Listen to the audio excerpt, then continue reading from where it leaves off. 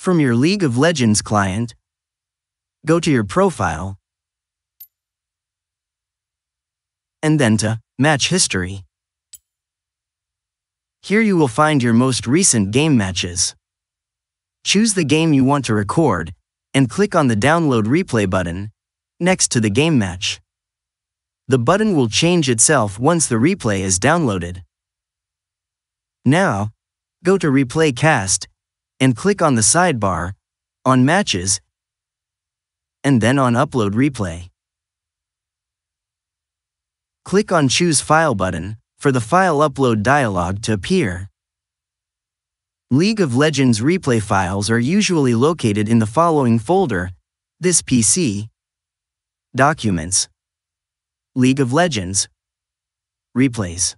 To easily find the replay you've just downloaded, you can click on Date Modified column to sort the files according to their modified date. If the files are sorted in descending order, then the last replay you've downloaded from the client will be the first file. If you are not sure which file is the right one for your match, you could upload several files one by one. After each upload, the match information will be shown, so you can see whether that match is the one you want recorded. After you've selected the replay file, click on Open to have it uploaded to ReplayCast. After the uploading is completed, the match info will be shown. To queue match for recording, click on the red button found at the end of the match info, after which a confirmation window will appear. Here you can set the name of the recording and what you want to be recorded. By default, only the entire gameplay is recorded, however you could also add highlights or match summary in addition to gameplay. Highlights include multi-kills, while match summary includes every objective, multi-kill, kill, death and assist in the game. If you want each highlight or match summary clip to be separate, you could check Separate Video Clips. Next, you can choose which champion the camera to follow in the game, either your champion or other champion, or have the camera focus randomly throughout the game.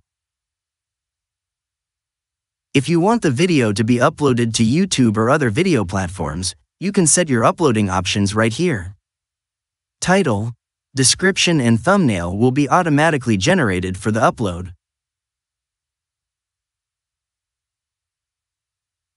Advanced recording options include Game language Stats overlays Runes loading screen, fog of war, gold difference, and many others. Click on Add New Recording to add the match to the recording queue.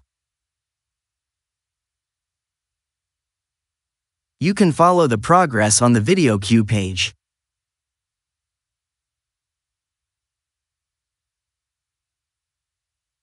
After the match is recorded, it will appear on the videos page.